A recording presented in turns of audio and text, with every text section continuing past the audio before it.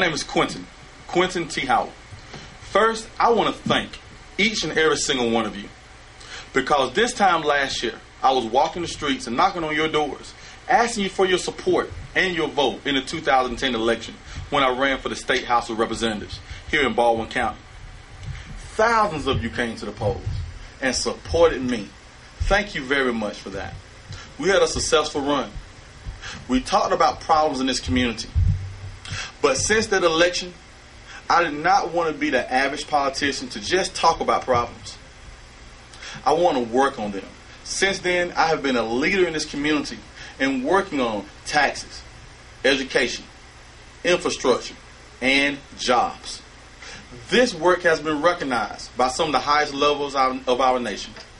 The White House, three months ago, gave me a call. They said, within his call, they, they start to explain what the President of the United States of America was doing with a program called the Rural Georgia Initiative Community Leaders, where he was bringing leaders within the state of Georgia who can honestly report what the concerns of the people are, what issues they have, and also bring probable solutions. He also want to give information that might not be known or uh, uh, uh, programs that's not being utilized or underutilized that can work with the small businessman that can that individuals throughout this community can take advantage of. So at the end of this week, I will be in Washington D.C. meeting with the administration, high-level administration officials, as well as the President of the United States of America.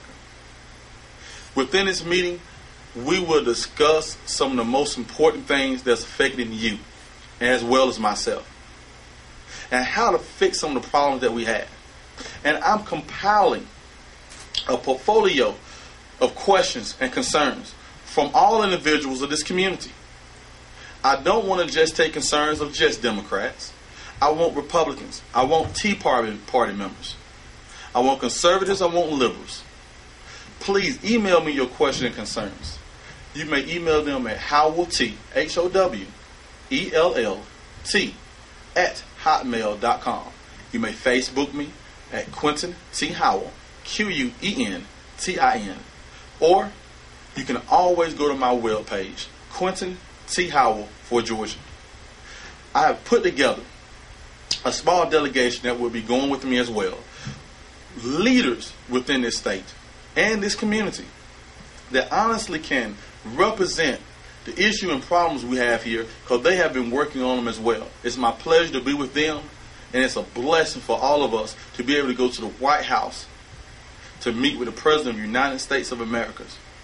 Because it's very easy to say you're a leader and to wave that flag. It's a whole lot harder to do the work. And I want you to know we're out here doing the work on a daily basis. Thank you, and I appreciate your support, and I look forward to speaking to you soon.